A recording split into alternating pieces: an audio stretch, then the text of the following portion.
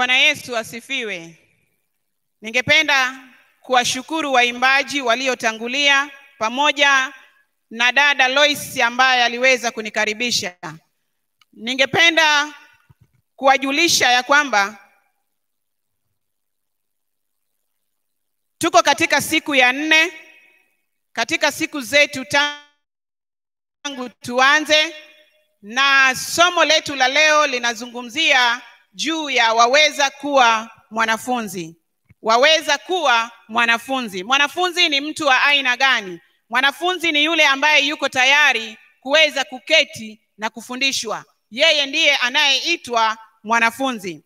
Na tukiangalia katika somo la kwanza tulipoanza, tulizungumza juu ya daraja la kutufikisha mbinguni, na tukaona daraja hili ni msamaha. Unapokuwa na msamaha, unajiandaa kufika mbinguni.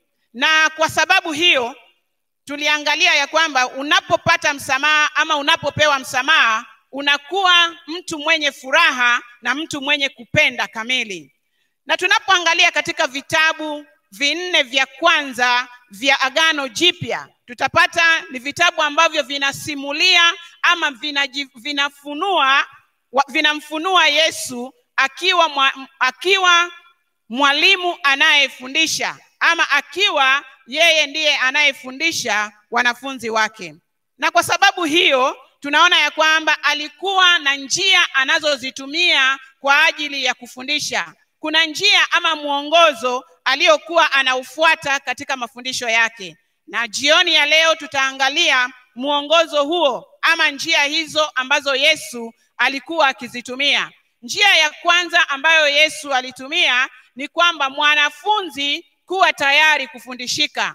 Kwa hivyo alikuwa anaangalia mwanafunzi aliye tayari kufundishika.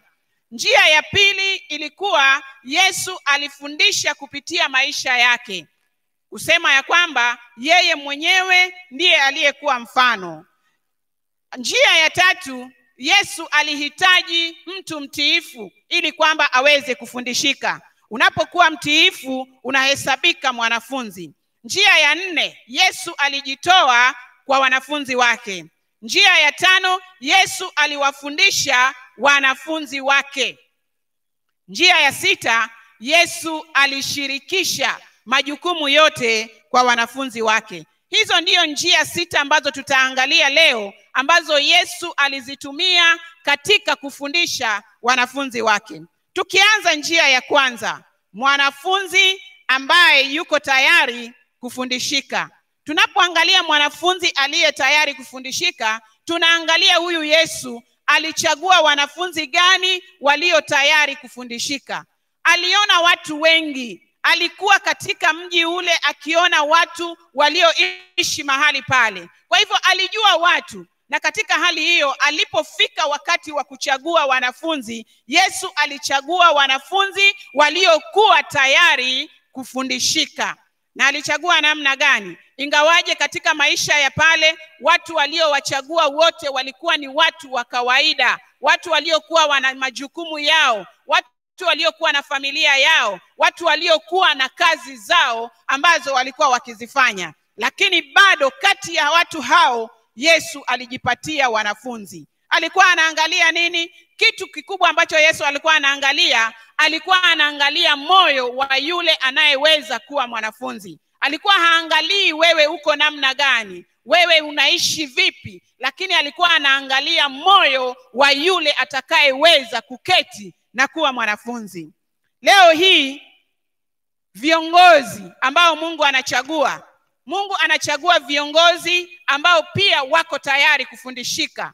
Tunapoingia katika makanisa, tunapoingia katika sehemu ambazo tuna majukumu, tunaona ya kwamba wengi huchagua viongozi ambao viongozi hawa huenda ya kwamba aidha wana mali ndipo wamweke katika uongozi, na kama hana mali wanaangalia kiongozi, je, huyu ana elimu, ndio wamweke katika uongozi. Lakini Yesu alikuwa haangalii hayo. Yesu aliangalia kwa sababu alijua yeye atakuwa ndiye kiongozi wao. Aliangalia ndani ya mioyo yao, watu ambao wako tayari kuacha maisha ya kitambo, kuacha utu wa kitambo, utu wa kujivuna utu wa kuonekana kana kwamba una uungu ndani yake. Yesu hakuangalia hiyo.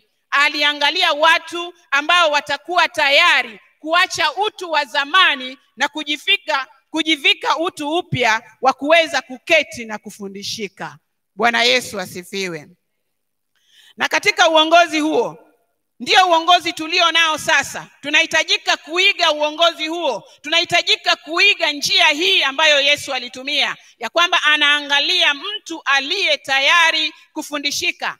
Tunapowaweka kuwa wanafunzi tusiangalie jinsi walivyo tusiangalie ni mienendo gani walio nayo lakini tuangalie watu ambao wako tayari kufundishika na kuacha utu wa zamani na kuvaa utu upya. Tunapoingia katika kipengele cha pili cha hatua za yesu alizochukua yesu alifundisha kupitia maisha yake kumaanisha yeye mwenyewe akiwa mfano. Katika miaka mitatu na nusu tunaambiwa yesu huyu kupitia katika vitabu vya injili aliweza kutumia muda wake mwingi siku baada ya siku kuweza kuketi pamoja na wanafunzi wake. Kwa hivyo wewe kama ni mwanafunzi je utaweza kuwa tayari kukaa karibu na mwalimu wako? Wewe kama ni mwalimu je utakuwa tayari kukaa pamoja na wanafunzi wako? Yesu alichukua muda kukaa pamoja na wanafunzi wake siku baada ya siku. Jambo lingine ambalo yesu alifanya akiwa katika darasa anafundisha wanafunzi hawa. Mbali na kuwafundisha yale mengine yesu mwenyewe pia alikuwa ni somo ambalo wanafunzi walikuwa wanasoma. Bwana yesu asifiwe. Ya kwamba wakati wanamwangalia yesu kuna vitu ambavyo mbali na yesu anavyoongea mbali na yesu anavyozungumzia yale ambayo anataka wajue yesu pia alikuwa somo kwa wanafunzi. Walikuwa wakimwangalia jinsi anavyozungumza jinsi anavyofanya mambo yake. Wanafunzi waliweza kujifunza kutoka kwake. Leo huu ningependa kukuuliza je unaweza kumwambia ndugu yako maneno ambayo paulo aliweza kuyasema kupitia kwa mafundisho ambayo yesu anasema mafundisho ambayo wanafunzi walimuiga. Leo wewe unaweza kumuuliza ndugu yako maneno haya katika kitabu cha wakorintho wa kwanza kumi na moja fungu la kwanza. Nalo linasema nifuate mimi kama mimi nimfuatavyo kristo bwana yesu asifiwe. Maneno haya yalizungumzwa na paulo. Tunaulizwa je sisi kama walimu je sisi kama viongozi ambao tunatakikana kuwa viongozi wa kufundisha wengine ambao tunatakikana kuwa viongozi ama wanafunzi?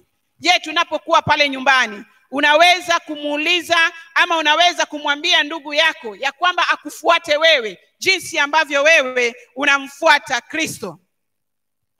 Jambo lingine ambalo unaweza kujiuliza je umewahi kutembelewa na ndugu yako nyumbani? Na kama umewahi kutembelewa na ndugu yako je ameketi pamoja na wewe? Ameketi pamoja na jamii yako kwa muda gani? Kama amewahi kukutembelea kuna jambo ambalo nataka nikuulize. Je umewahi kumwonyesha jinsi unavyoishi?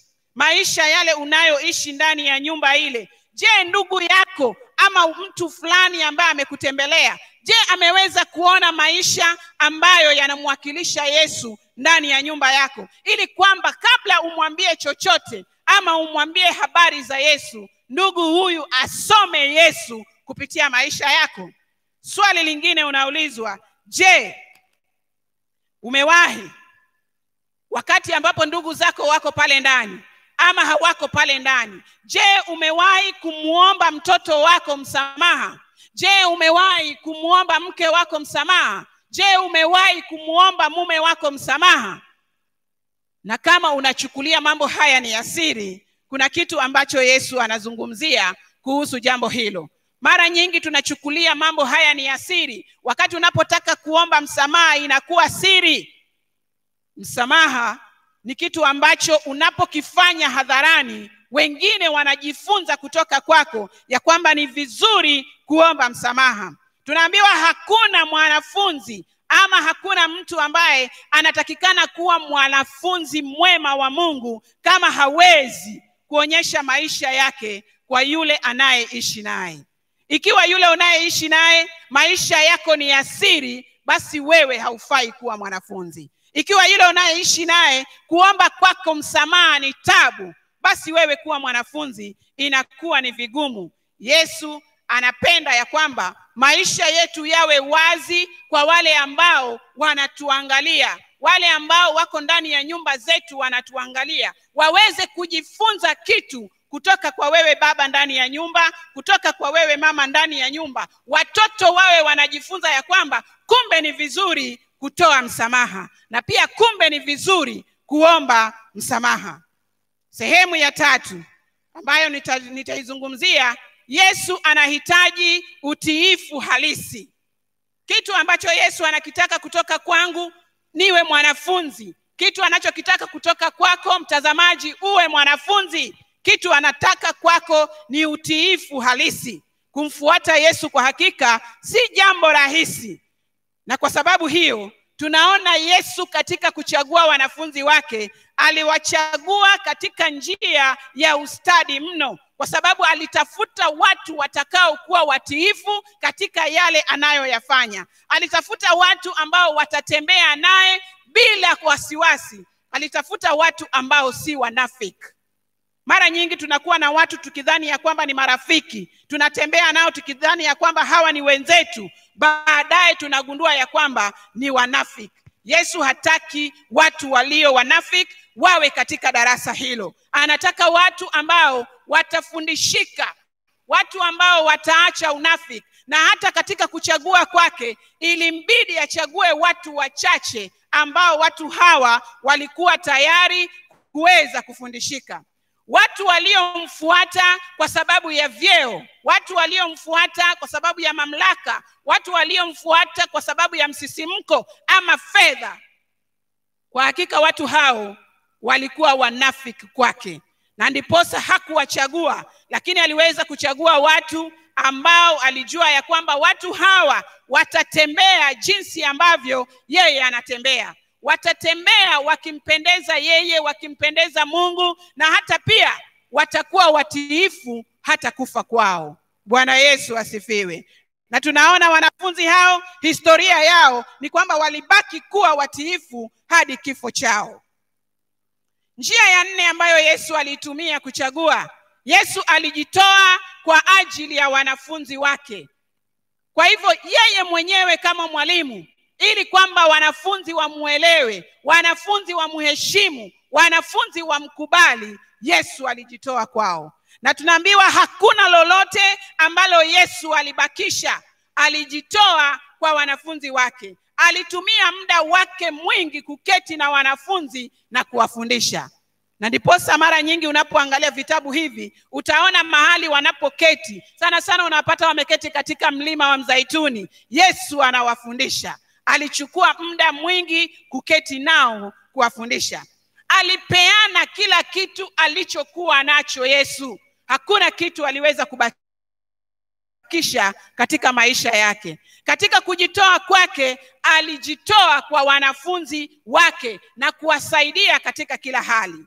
Jambo lingine ambalo Yesu alifanya, alifungua maisha yake kwa wanafunzi wake. Bwana Yesu asifiwe, ya kwamba wanafunzi walimwelewa, wanafunzi walijua ni nani wanazungumza naye, na hata wanafunzi ikawa ni rahisi kuweza kumfuata Yesu wanapokuwa na matatizo. Nataka nikuambie, unapokuwa mwalimu, unapokuwa kiongozi na unataka wanafunzi wakufuate wewe, mwalimu ama kiongozi, ni lazima ukubali kujishusha chini kutoshana na wanafunzi wako. Ni lazima ukubali kuwa sawa na wanafunzi wako, ili wanafunzi hawa wawe wepesi kukufuata na kukupatia matatizo yao, wawe wepesi kukufuata kwa sababu wanakujali, wanakuamini. Yesu aliweza kufungua maisha yake kwa wanafunzi wake.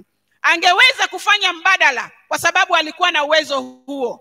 Alij, walijua ya kwamba huyu ni mwalimu, huyu ni kiongozi, vile ambavyo mara nyingi tunafanya makanisani. Tunaketi tukidhani ya kwamba kwa sababu mimi ni mzee wa kanisa, kwa sababu mimi ni mchungaji, kwa sababu mimi nina cheo fulani kanisani, basi mimi sitafanya kazi ya chini. Watakaofanya kazi zile ni wale wengine. Wewe si kiongozi mzuri.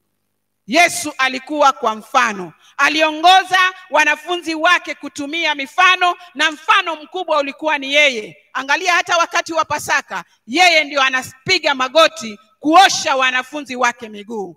Yesu aliwapatia mfano. Watu walijifunza kutoka kwake. Kwa hivyo anasema ya kwamba sisi tuweze kutumia njia ambayo yesu alizitumia. Tuweze kufuata njia ambazo yesu alizifunua kwetu ya kwamba tuweze kunyenyekea.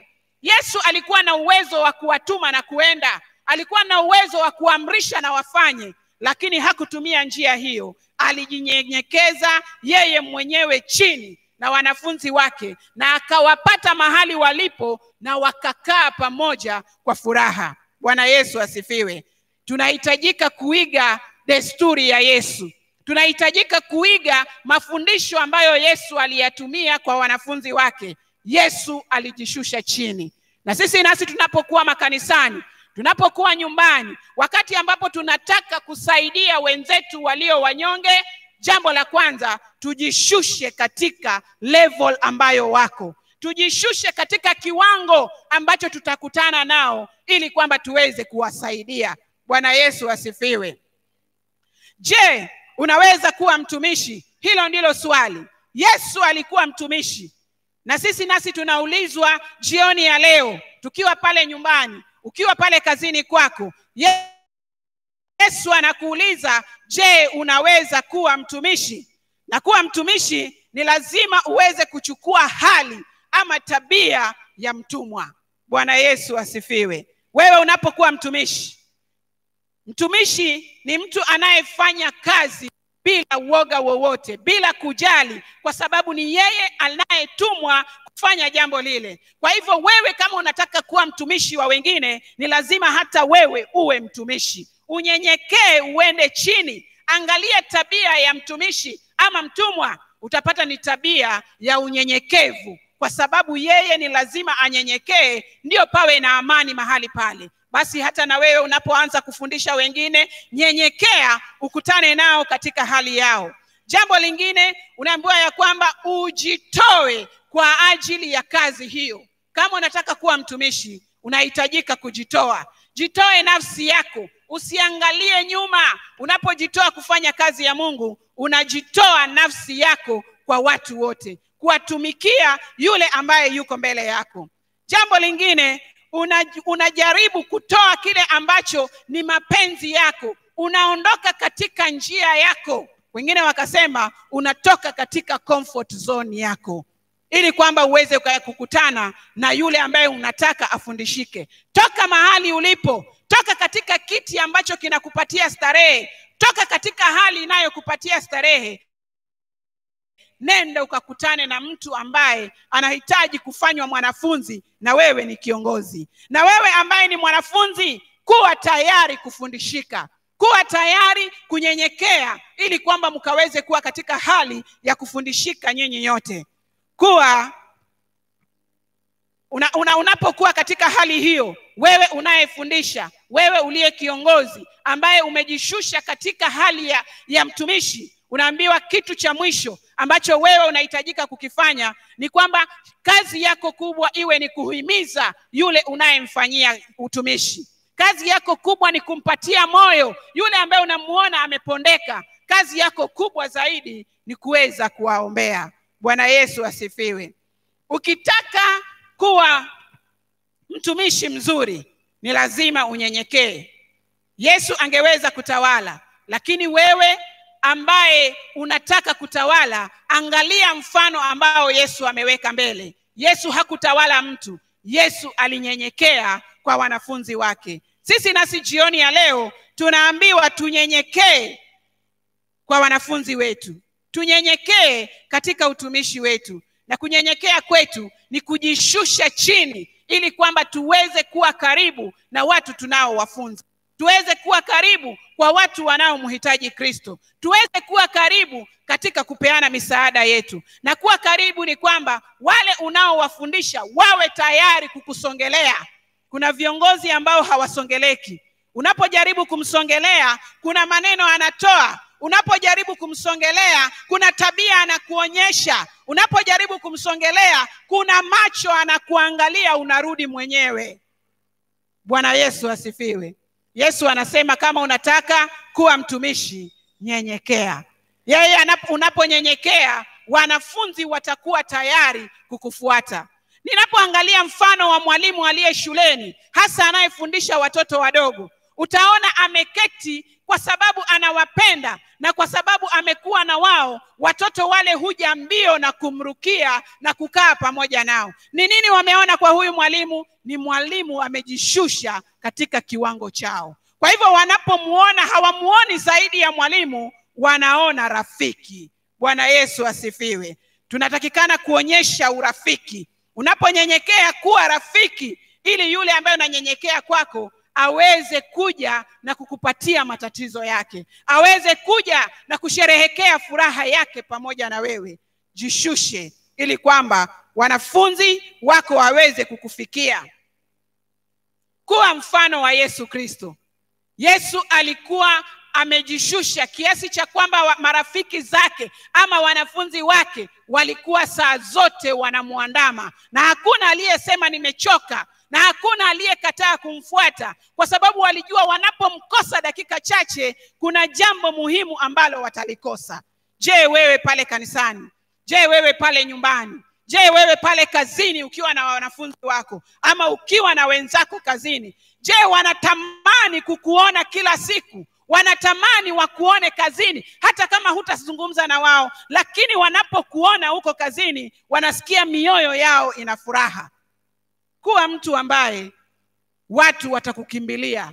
Kuwa mtu ambaye watu watakusikiza. Kuwa mtu ambaye watu watakuwa na hamu ya kukufuata. Watakuwa na hamu ya kukutembelea. Watakuwa na hamu ya kukuona kila wakati. Yesu wanafunzi wake walitamani kumwona kila saa alipokuwa pamoja nao. Yesu aliwaonyesha njia. Tukiingia katika sehemu ya tano yesu aliwaonyesha njia. Yesu aliwafundisha wanafunzi wake kwa mifano. Na nimetangulia kusema yeye mwenyewe akiwa mfano. Na unapokuwa mfano ni njia moja ya kuongoza wale wenzako unaowaongoza. Kwa miaka mitatu na nusu yesu alifanya jambo ambalo linanipendeza. Yesu huyu aliwatunza wanafunzi wake. Wewe kama kiongozi tunza wanafunzi wako yesu aliweza kutetea wanafunzi wake. Kuna wengine ambao una, unakuwa kiongozi mwanafunzi wako anapatwa na jambo fulani ama anapatwa na mkasa umekataa kumsaidia. Umekataa kujishusha kusaidia mwanafunzi wako. Hufai kuwa mwanafunzi, hufai kuwa kiongozi hufai kuwa mwalimu.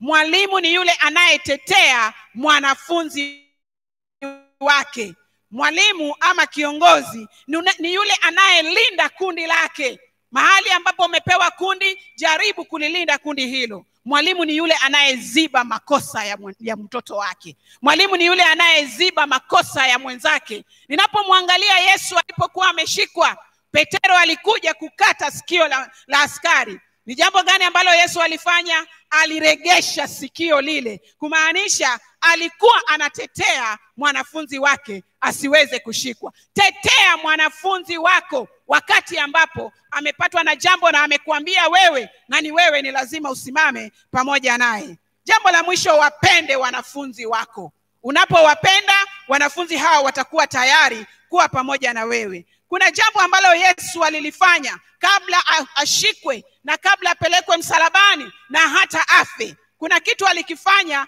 katika yohana kumi na tatu fungu la thalathini na tatu na la thalathini na nne wakati anapowaaga wanafunzi wake wakiwa katika pasaka. Yesu aliwaita tena aliwaita jina zuri sana. Alisema watoto wadogo.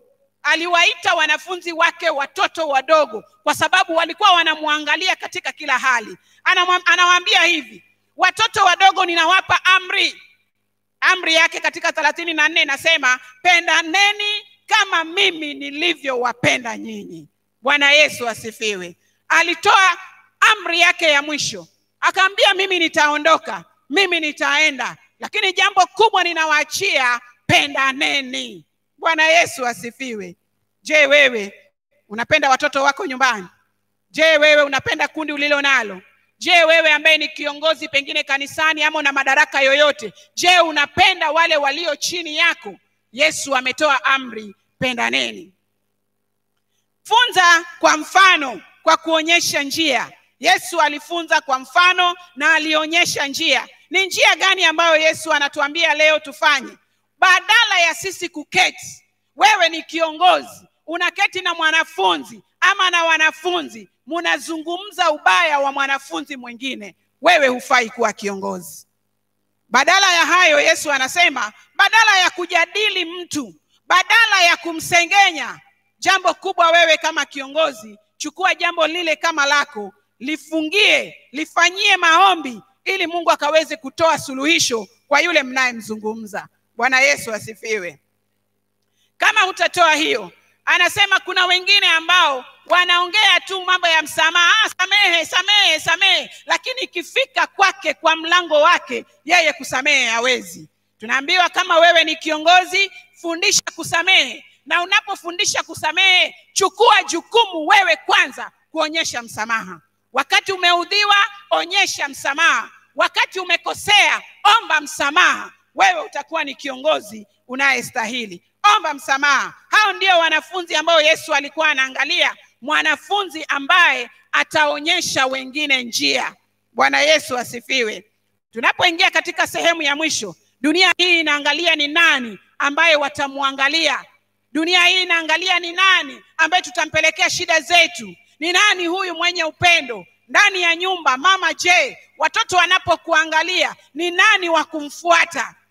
Onyesha upendo fundisha watoto njia ili kwamba wanapoangalia kule mbele wawe na mtu wa kukimbilia. Wanaposhikwa na shida wawe na mtu wa kukimbilia. Kanisani kazini onyesha upendo. Wakati ambapo watu wako wanahisi ya kwamba wanahitaji msaada wajue ni nani wa kukimbilia pale kazini. Wajue ni nani wa kukimbilia nyumbani. Wajue ni nani wa kukimbilia jirani.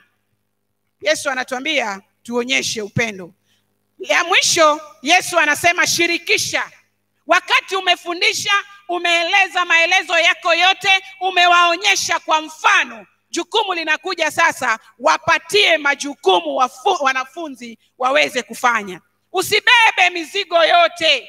Kuna viongozi ambao hata kugawanya majukumu hawataki. Kama yeye amechaguliwa ni mzee wa kwanza majukumu yote ni yake. Gawanya majukumu ili watu wajifunze kupitia kwa majukumu hayo.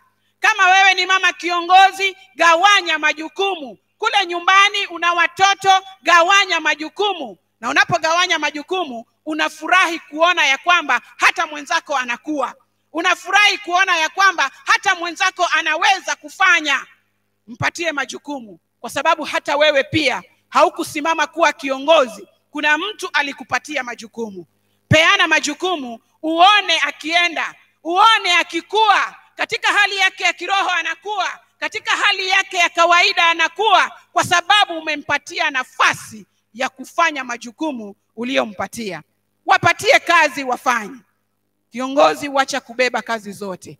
Yesu alipomaliza kufundisha wanafunzi wake tunaona akiwapatia majukumu. Katika kitabu cha mathayo kumi ukisoma yote unaona kwamba yesu anapeana majukumu kwa wanafunzi wake.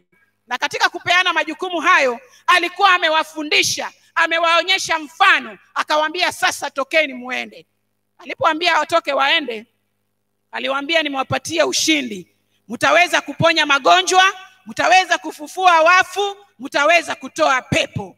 Bwana yesu asifiwe. Hata sisi nasi kama viongozi kama wanafunzi viongozi onyesha mfano mwanafunzi umefundishika kubali kuchukua majukumu na kusonga mbele. Tunaposonga mbele namna hiyo tunaambiwa hilo ndilo jambo ambalo linamfurahisha yesu kuona ya kwamba tumefundishika na tumepewa majukumu na tunaendelea. Yesu anataka watu wanaosonga mbele. Yesu anataka watu wanaokuwa kiimani ili kwamba waweze kuwa na muda wa kusimama peke yao na kumtetea yesu wao.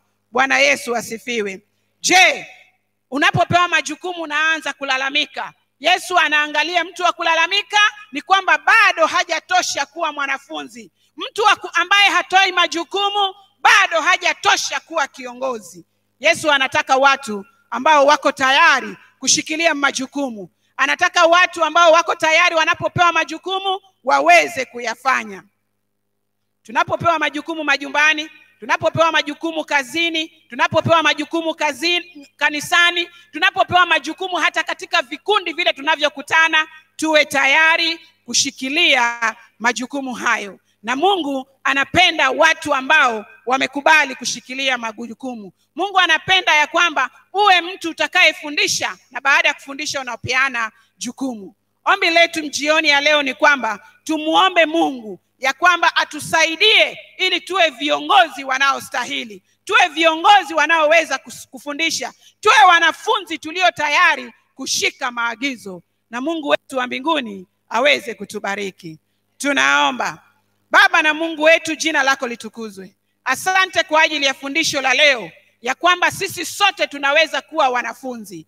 Asante kwa sababu umetuchagua kuwa wanafunzi tunaomba vikwazo vilio moyoni ukaweze kuviondoa ili kwamba tukaweze kuwa wanafunzi kamili. Utubariki sasa na milele ni kwa yesu kristo tunaomba. Amen